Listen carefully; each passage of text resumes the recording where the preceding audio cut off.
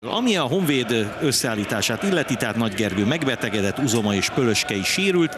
Engognak nem ment a góllövés, így Hollander visszakerült Danilo mellé a csatársorba, Pilik előrelépett a középpályára, és Kukocs is bekerült a kezdő csapatba tehát. Felállás nem változott. Szőcs Gergő vezeti a találkozót, Albert István és Puzás Balázs a két segítője. Ami a Diós győreket illeti, tehát Antal Botond ott van, a kezdő csapatban sérülése után rendbe jöve, és nagyjából kezd a Diós győr is kiegyenesedni. Mindenki, szinte mindenki a fedélzeten, Eperies és Forgács kivételével, hiszen már Tamás is ott van a cseresorban. Vernes pedig ugye 2010 és 2017 között a Honvéd csapatát erősítette. Kukocs. Ez még jó lehet. Danilo lő mellé. Szép támadás volt, Hollander készítette le lövésre. Hollander lekészíti, és 20 méterről Danilo lábára kisé leperdült a labda. És itt is egy távoli lövés. Ez is elkerült a kaput Tajti. Ebből a távolságból érdemes próbálkozni. És ez egy jó fejes. Hollander eltalálta a kaput, teljesen tisztán maradt. Itt lehet látni, hogy kaput eltalálja fejjel Hollander Filip. Kukocs. Gazdag. Még megmenti, jó a sarkalás, és Antalnak most már bravúr kellett. Antal még mindig nem birtokolja a kapusalabdát. Hollander, Antal fekszik, Danilo visszafejeli, Hefler és Danilo egymást zavarják, még mindig ott van Danilónál a labda, és szöglet a vége. Itt gazdag harcossága dicsérhető, aztán pedig a leleményesség.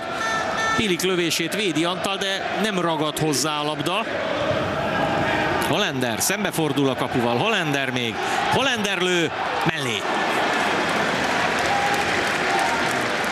Felvezető interjúban utalt Sukka Attila, sokat érhet, mert itt is pici ritmusváltás, nem nagy ördöngőség, megtolja a labdát, lövés nem pontos. De a mezőny legveszélyesebb játékos a Hollander. Egy nagyon elszánt játékos, bum, ez már kapura megy, Gróf azonban megfogja. Aztán utána leadta inkább Tajtinak. Vernes. És még ez is jónak tűnt, Kamber jól helyezkedett, ott van még Makrainál, szép csel Makrai, a második is, Makrai helyzetben, Gróf véd nagyot, és még egy lövés, ez pedig lepattan, és ballal ellőtte.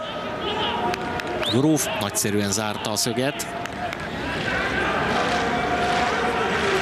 Szép gól lett volna, ha bemegy, így viszont egy ragyogó szóló, egy gyönyörű védéssel. Csupán ennyi Hollander. Jászi könnyedséggel az újabb csel, a beadást pedig Karan tette szögletre. Mazalovics mellett is simán elment. Hollander csapatbeállítása mindenképpen jó húzás volt, és az is, hogy elől játszik. Gólt nem lőtt, most az előkészítésben próbált jeleskedni. Gazdag inkább Danilóhoz. Danilo, Hollander lő, mellé. Kukocs a bal oldalon.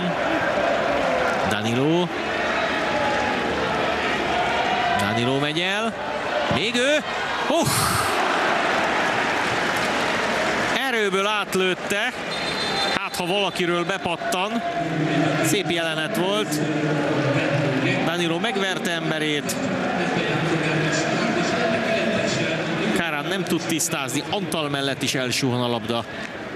Molendernek voltak nagyobb lehetőségei, a oldalon pedig az a szép makrai egyéni teljesítmény még az első fél időben. Hefler.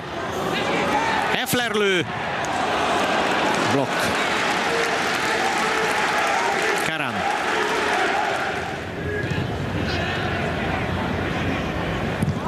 Antal, oh. Melle leveszi.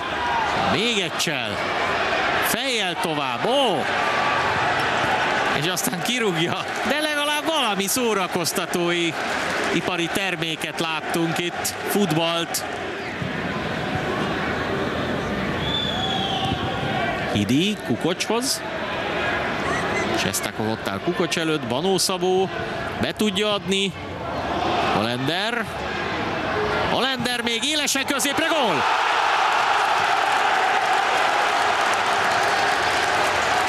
A legjobban megérdemelte, hogy gólt szerezzen, az mindenképpen Hollander Filip volt, aki a legtöbbet tette azért, hogy az ellenfél kapuját bevegye. Tegyük hozzá, hogy ez az élesen középre előtt labda megpattant, és úgy került a Diós Győriek hálójába. De a Honvéd megszerzi a vezetést. Jól számolom, akkor 340 perc után szerez gólt újra a kispesti csapat a bajnokságban. Itt rosszul találja az egyébként addig helytálló Karán a labdát, és aztán róla pattan be saját kapujába. Az előbb Karán kétszer is mentett, most rossz helyre továbbít, és aztán meg róla bepattan.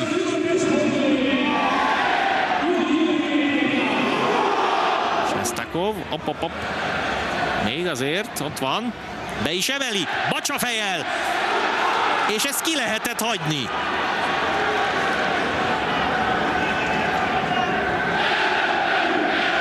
Batik. Banó Szabó. Lövőhelyzet. Banó Szabó, megpattan ez is mellé. Szöglet. Kecsegtető pozícióban szépen észre is vette, hogy a hosszú alsót el lehet lőni. Jó volt a blokk Juhár részéről. Innen lehet látni, hogy milyen jó helyre ment volna ez a labda. Szőcs Gergely lefújja. A Honvéd azt is mondhatom, hogy jobban akarta a győzelmet, mint a Diós Győr, de többet is tett a győzelemért. Így a minimális különbségű siker, még akkor is, hogyha egy némileg szerencsés találat volt Holender lövése után, Karanon megpattanva, amely bevágódott Antal hálójába. De a helyzetek alapján és azért a küzdés alapján, amelyet a Honvéd végrehajtott, a győzelem jogossága azt hiszem, hogy érthető.